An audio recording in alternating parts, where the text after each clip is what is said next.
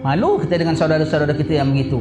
Malu sekali. Dan malu dengan Rabbul Alamin. Malu dengan Rabbul Alamin. Malu Allah Ta'ala memerhati hal ehwal hamba-hambanya. Kita diperhati oleh Allah Subhanahu Wa Ta'ala.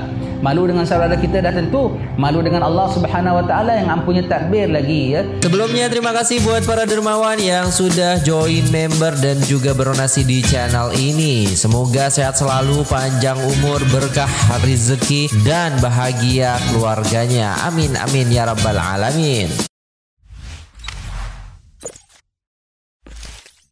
Assalamualaikum warahmatullahi wabarakatuh. Jumpa lagi dengan saya guys. Cak Mujib. Gimana kabar teman-teman? Semua Semoga sehat selalu dalam lindungan Allah Subhanahu Wa Taala. Dijauhkan dari segala mara bahaya Malapetaka bencana dan balak Serta berbagai macam penyakit. Amin amin ya rabbal alamin. Alright guys. Alhamdulillah kita masih diberikan kesehatan dan kenikmatan yang sangat besar Daripada Allah Subhanahu Wa Taala Yang mana ya nikmat itu sangat-sangat besar kepada kita. Oke okay guys. Sebelumnya marilah kita senantiasa mendoakan ya Saudara-saudara kita yang ada di Palestina اللهم انصر إخواننا في فلسطين على هذه النية وبكل نية صالحة. الفاتحة. أعوذ بالله من الشيطان الرجيم. بسم الله الرحمن الرحيم. الحمد لله رب العالمين. الرحمن الرحيم. مالك يوم الدين. إياك نعبد وإياك نستعين. اهدنا الصراط المستقيم. صراط الذين أنعمت عليهم غير المغضوب عليهم ولا الضالين. Amin. Semoga saudara-saudara kita yang ada di Palestina diberikan kekuatan oleh Allah Subhanahu wa taala meraih kemenangan dan juga diberikan apa ya? kekuatan, ketabahan, kesabaran oleh Allah Subhanahu wa taala dan insya Allah ya nanti ya Zionis ya Zionis ini pasti akan dilenyapkan oleh Allah Subhanahu wa taala insyaallah. Oke guys, kali ini kita akan reaksi sebuah video ya. Krisis mata uang dan krisis makanan. Daripada Syekh Abu Zaki Al-Hadrami ini janji Allah Subhanahu wa taala bila dah terjadi krisis mata uang dan juga krisis makanan. Oke, tanpa berlama-lama, semoga bermanfaat video kali ini guys. Jom kita tengok bersama-sama. Let's go. Ajma'in. Assalamualaikum warahmatullahi wabarakatuh. Waalaikumsalam. Alhamdulillah, terlebih awal kita ucapkan selamat hari raya Aidil Fitri minal aidin wal faizin wal makbulin untuk tuan rumah Tuan Haji Abdullah sekeluarga ya. Alhamdulillah walaupun kita sudah penghujung-penghujung bulan Syawal tapi kita masih berhimpun masih mohon kepada Allah Taala supaya Allah Taala terima Ramadan kita Allah Taala terima puasa kita Allah Taala terima ibadat kita dalam bulan Ramadan. Allah ampunkan dosa kita. Semoga segala pahala-pahala yang dijanjikan Allah Taala dalam bulan Ramadan gandaan-gandaannya karuniaan-karuniaannya mudah-mudahan dah tercatat dalam catatan amalan kita dan tak terpadam-padam lagi sampai bila-bila. Sehingga kita dapat ganjarannya apabila kita meninggal dunia nanti Alhamdulillah tuan-tuan sekalian saya nak sentuh sikit perkara belakang hari kita dengar ramai orang agak cemas ya tentang perkara-perkara kurang makan kurang apa. Nanti hal ehwal mata wang al-maklum kita hidup dalam dunia memerlukan bekalan itu semua. Betul tapi kita kena sedar bahawasanya Allah yang pun takbir segala-galanya. Allah dah tulis rezeki kita dari hari ini sampai kita mahsyar sampai nanti berapa titik air kita dapat dalam alam barzah dapat minum ke tak dapat minum sampai di alam basyar semuanya dah ditulis oleh Allah Taala. Kita tak perlu tak perlu nak nak risau-risaukan sangat. Sampai nanti kita masuk syurga berapa banyak sungai mengalir untuk kita pun dah Allah Taala tuliskan. Ataupun naudzubillah min zalik apabila seorang dah masuk neraka berapa banyak sungai timah dah mengalir untuk dia pun Allah Taala dah tuliskan juga semua itu ya. Serah kepada Allah Subhanahu wa taala. Dalam kita nak menghadapi krisis ini orang kata nak ada krisis makanan ke apa begitu begini memang kita buat langkah-langkah kita apa yang patut kita buat langkah yang patut. Tapi jangan lupa kadang-kadang langkah kita patut kadang-kadang langkah kita tak patut ya. Kita kena tengok dahulu. Kadang-kadang kita nak mengelakkan satu permasalahan. Tapi kita tak tahu bahawasanya permasalahan itu itu sendiri anugerah Allah Taala cuba tengok firman Allah Taala fa inna ma'al usri yusran inna ma'al usri yusra dalam kepayahan itu dengan kepayahan itu beserta kepayahan itu ada kemudahan. Jadi kita jangan terus kalau ada kepayahan kita nak singkir kepayahan. Kita cuba tengok apa ada kemanfaatan dalam kepayahan itu dulu. Tunggu, tabah, sabar. Macam orang nak kena injection, sakit tak? Sakit, pedih, tapi tunggu, nanti sembuh, nanti sihat. Nanti mati kuman badan aku. Nanti aku dapat kembali kuat, kembali sihat. Sabar tunggu seram-seram. Uh, dengar doktor nak injek kita saja tepis. Doktor nak injek kita saja ganti dengan apa jarum yang tumpul doktor nak injek kita saja kita lari. Tak baiklah tak sihat. Tunggu sabar hadapi. Jangan temu semua segala kepayahan kita nak tangkis kita nak tangkis kita nak elak. Jangan begitu kita tunggu apa ada kebaikan di sebalik kepayahan itu dah Allah Taala janjikan dua kali. Fa inna ma'al usri yusran inna ma'al usri yusra. Sungguhnya maka sesungguhnya dalam kepayahan itu ada kemudahan. Dalam kepayahan itu ada kemudahan Allah Taala sebut. Bukan sesudah tau bukan ba'da usri yusra tau. Bersertanya bersertanya. Jadi kalau kau buang kepayahan itu kau buang bersertanya. Kalau kau buang kepayahan itu kau buang injection itu kau buang obatnya kau buang kau buang obatnya. Kau buang api yang panas kau buang nasinya itu bermaknanya kau buang masak nasinya begitu ya. Ha, jadi kau kena kena kalau nakkan dia punya yusran, kena sanggup tanggung usrannya. Dan tapi kita manusia biasalah nak tanggung usrannya itu memang agak payah. Agak payah kita kita kadang tak kuat. Kembali balik kepada Allah Subhanahu Wa Taala. Allah Taala sebut wa may yattaqillah. Orang Melayu tak tinggal ayat ini namanya ayat seribu dinar ya. Sampai kita tulis dekat dinding wa may yattaqillah yaj'al lahu makhraja. Siapa bertakwa kepada Allah, Allah jadikan dia jalan keluar wa may yattaqillaha yaj'al lahu makhraja wa yarzuquhu min haitsu la yahtasib. Wa may yatawakkal 'ala Allah fa huwa hasbuh. Ya.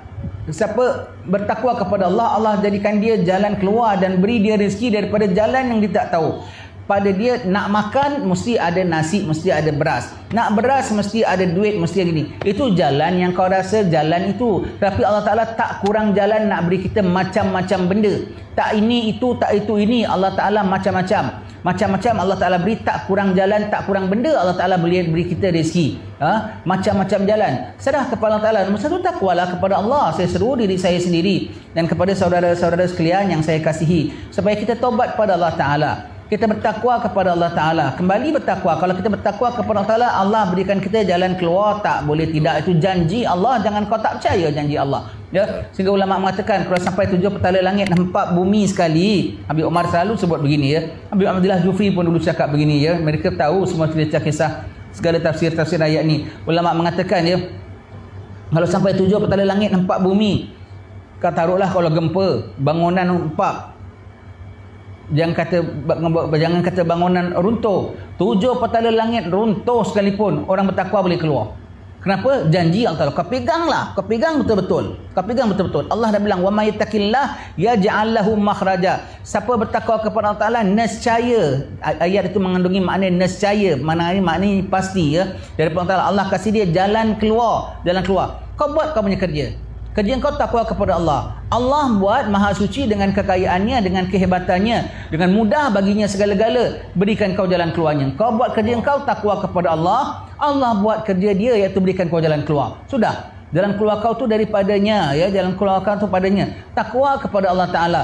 Takwa kepada Allah taala tak nak. Maksiat masih hendak juga. Foya-foya masih hendak juga. Hasad dengki masih sama dengan kita. Temahak orang masih ada sama kita. Allah tapi kemudian kita nak jalan keluar. Macam mana kita membuntukan sendiri sistem kehidupan kita? Kemudian kita nak cari jalan keluar daripada Allah Subhanahu wa taala takwa kepada Allah Subhanahu wa taala. Dan jangan tinggal zikir tuan-tuan sekalian. Daripada zaman sebelum PKP pada PKP lepas PKP zikir zikir zikir. Ala bizikrillah tatmainnul qulub adalah dengan berzikir kepada Allah taala jiwa dan hati akan menjadi tenang akan jadi tenang. Kalau tenang nanti Allah taala tunjukkan kita macam-macam jalan ya. Allah taala tunjukkan kita macam-macam jalan. Kadang-kadang bukan kita apa perlu nampak ada satu-satu permasalahan bukan kita tak nak untuk menghindarkan permasalahan itu namun kadang-kadang kita kena hidup dengan permasalahan itu. Ha, umpamanya lah orang kalau sakit kaki dah kencing manis dah kena potong nak bikin apa? Kalau boleh-boleh nak tumbuhkan kaki baru? Nak, dia kena cuba hidup macam mana dengan tak ada keadaan tak ada kaki. Ha, ngisut ke, naik wheelchair ke, pakai topang ke, pakai macam mana ke, pakai kaki palsu ke. Tapi life mesti kena carry on dengan cara yang lain ganti yang lain. Begitu juga ya. Jadi jangan kita nak dapat apa masalah macam is end of the world. Ah, It's end of the end of the world macam dah lepas tu dah kita rasa wah gitu payah dan susah. Jangan. Kata kalau tak ada makanan, kadang-kadang solusinya bukan cari makanan tau. Tak ada makanan, cari solusinya ialah apa? Cuba hidup dengan tanpa makanan. Kau tak ada makanan, do the maximum of kita try itu macam. Try dulu. Ha? Allah Ta'ala punya apa segala Allah Ta'ala minta dia junjung dulu. Ha? Tak ada makanan. Cuba sanggup ya Allah walau kau kasih aku hidup tanpa makanan ya Allah. Ha? Tanpa tanpa makanan. Kemudian cuba kalau nanti Allah Taala akan longgarkan. Kalau kita sanggup ya apa dari pihak kita sanggup maksimum, Allah Taala beri Allah Taala akan Allah Taala akan ambil sedikit saja tau. Kesanggupan dari pihak kita ya Allah kalau takdirlah jangan akan kata kurang makan. Takdirlah kalau dari pihakmu ya Allah mentakdirkan bahawasanya tak ada makan langsung pun aku junjung takdirmu ya Allah. Kita sanggup sanggup zero makan Allah Taala kasih seratus makan nanti. Betul. Ya, kita sanggup berikan segala-galanya Allah Ta'ala sanggup berikan kita segala-galanya tanpa ambil pun daripada kita sedikit pun. Ya? Ha. Kalau sanggup beri segala-galanya, sanggup zero makan, sanggup sedikit makan, Allah akan beri, jangan bimbang. Malu tau tuan-tuan sekalian, malu. Kita dalam sekarang kita ni belum lagi nampak, belum lagi bahaya, belum lagi apa. Kadang-kadang setengah kita dah panik dan nak kumpul itu dan nak kumpul ini. Now, at this time, ketika ini, setengah daripada saudara-saudara kita sedang buat apa tau? sedang give up everything yang dia ada in life untuk tuju Allah Ta'ala. Ada rumah sanggup tinggalkan. Ada kereta sanggup jualkan. Ada kehidupan sanggup tinggalkan. Kerana apa? Hanya bersiap sedia nak menuju Allah Subhanahu Wa Ta'ala. Ada orang yang dalam sekarang ini, dalam keadaan dalam keadaan setengah-setengah orang belum apa-apa bahaya dia dah dah panik dah panik dah panik dah panik dah panik dia nak kumpul segala-galanya nak kumpul segala hartanya nak secure segala wang ringgitnya nak secure secure segala mata wangnya nak secure segala foodnya makanannya semuanya supply-nya semua nak secure nak jagakan nak nak kau nak selamatkan. Pada ketika ini juga ada orang sedang give up everything serah rumahnya lepas, keretanya lepas, apa yang lepas. Kerana aku nak nuju Allah, aku nak nuju Allah. Malu tau kita kalau tengok kawan-kawan kita gitu. Kalau kita begitu ya, kita gitu kita sedang kita sedang, lokik, sedang pegang, sedang genggam, yang ada orang sedang lepas, sedang lepas, sedang lepas. Kalau dia sanggup lepas, Allah Taala sanggup curah, sanggup curah, sanggup curah. Begitu tuan-tuan sekalian ya. Begitu. Jangan kita kita hidup jangan kita lupa kita ada Allah Subhanahu Wa Taala mentadbirkan segala-galanya. Jangan kita lupa bahawa segala-galanya itu dalam di bawah kekuasaan Allah Subhanahu Wa Taala. Serah buat apa yang kita rasa patut tetapi jangan lupa Allah ada yang terlebih patut. Buat apa yang kita rasa patut tapi jangan lupa bahawasanya Allah ada, Allah ada. Apa merhati akan hal ehwal hamba-hambanya. Memelihara akan hamba-hambanya. Ah, tidak Allah Taala hidupkan kita kat dunia kecuali Allah Taala dah supply segala-galanya untuk diri kita ya. Sampai hari mati kita dah Allah Taala tulis berapa rezeki berapa gitu takkan kita mati kalau rezeki kita masih belum habis lagi. Takkan kita mati kalau rezeki kita peruntukan kita belum habis, takkan mati kita. Sampai dah habis rezeki kita barulah mati. Jangan bimbang ya. Yang menjaga rezeki kita Allah Subhanahu taala. Mana orang boleh bilang makanan kita banyak atau kurang? Dia tahu ke makanan diri sendiri dia tak tahu makan banyak ke kurang ke? Ha? Tapi kita jangan temah lah kita nak hari-hari kurang pasal tak dapat mie goreng, tak dapat burger, tak dapat rojak, tak dapat ini. Itu kau bertemah tu lain cerita lah. Itu kata mak tu dan cerita ya. Ha, kita kena berpada lah, berpada semua tu. Ha, dia kita serah kepada Allah Taala Maha Agung, Maha Maha Kaya. Kita kita macam jangan terlampau macam tak boleh kurang sikit. Istilahnya orang bilang tak macam tak boleh dicuit sikit. Wah, Betul. mesti nak kena secukup-cukupnya. Ya. Jangan, jangan begitu ya. Kita katakan tadi, dalam kita nak nak secure itu nak secure ini ada hamba-hamba Allah Taala ketika ini ha, ketika ini sedang give up their life for the sake of Allah Subhanahu wa taala. Dan sedang give everything for the sake of Allah Subhanahu wa taala. Kita pula tengah nak try cope everything for our own comfort. Malu kita dengan saudara-saudara kita yang begitu. Malu sekali dan malu dengan Rabbul Alamin. Malu dengan Rabbul Alamin. Ada hamba-hambanya Allah Taala sedang suka gembira tengok hamba-hambanya ha? dinazarah oleh Allah Subhanahu Wa Taala sedang sedang sanggup memberi kerana Allah Taala At the same time Allah Taala pandang kita sedang tak pandang Allah sedang kau kau kau kau. Malu tak agaknya tuan-tuan sekalian? Ha. Malu Allah Taala memerhati hal ehwal hamba-hambanya. Kita diperhati oleh Allah Subhanahu Wa Taala. Malu dengan saudara kita dah tentu. Malu dengan Allah Subhanahu Wa Taala yang ampunya tadbir lagi ya. Maha suci Allah Subhanahu Wa Taala.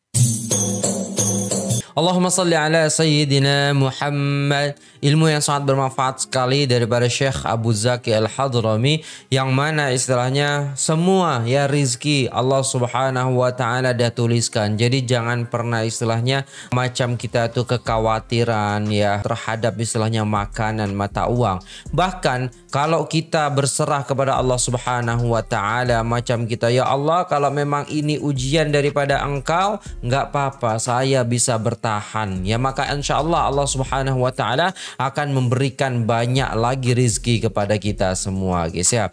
Ingat kita tidak akan mati kecuali rezeki kita dah habis. Kalau dah habis dah mati dah kita. Macam tu kan? Ha, buat apa kita yang rasa patut? Jangan lupa ada Allah Subhanahu wa taala ya. Allah memerhati kita. Allah dah tulis rezeki kita.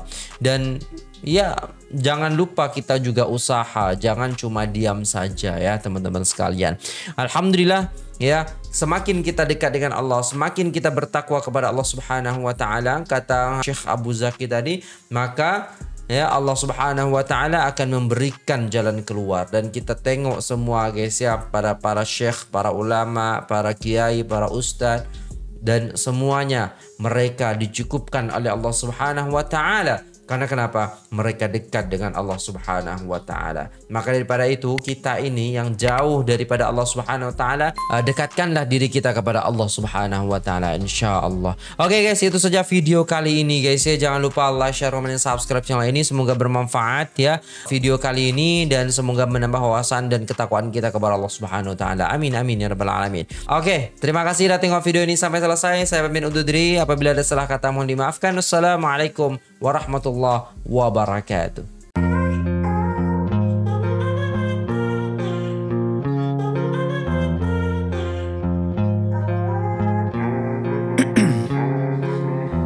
in my veins, I've been driving this train.